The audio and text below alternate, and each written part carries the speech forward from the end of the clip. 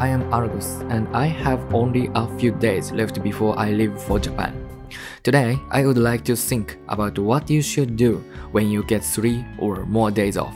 The reason why I chose 3 or more days off is because usually people take 2 days off a week, and in that case, you can't change much of what you do on your vacation. This story begins with the recognition that the activities that can be done specially are only available on the third free activity day, since most of the time is spent digesting what you normally couldn't do at work. Now, how do you usually spend your time?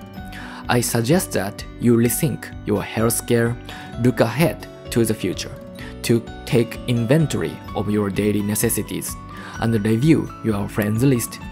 You may be able to improve your inadequacies by reviewing your regular diet, planning and updating your future financially and career-wise may greatly improve your future possibilities. You can improve your finances by taking inventory and noticing waste in your daily life.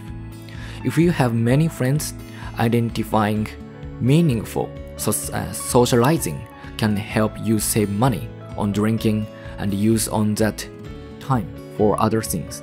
Conversely, what you should not do is slack off and do nothing in particular. Of course, but also meet with friends for some reason and end up talking with them for some reason, or simply increase your hobby time only when you have time off. I live my life thinking in this way, and it has produced very good results. That is why I am recommending it.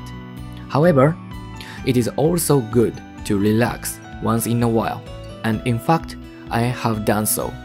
Because as human beings, we cannot just train ourselves like robots, as you may have noticed. So, while it is important to take a break from time to time, I think it is most important to be vigilant so that we do not spend too much time doing so.